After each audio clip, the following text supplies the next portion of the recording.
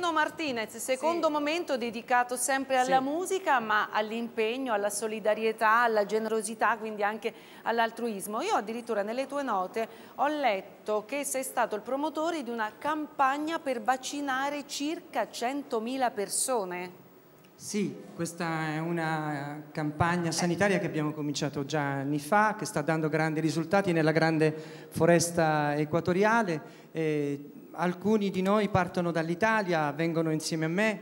Nel, durante l'ultima missione è venuta anche Stefania Petix, la giornalista di, di Striscia la Notizia, la quale ha vissuto veramente momenti drammatici, ma con grande impegno e coraggio, perché lì ci sono delle patologie incredibili, e, purtroppo oltre 3.000 bambini al giorno li muoiono soltanto per delle patologie che si potrebbero salvare con una semplice penicillina, per esempio ritardo. Pensate. Immaginatevi che il costo soltanto della penicillina ritardo è di 60 centesimi.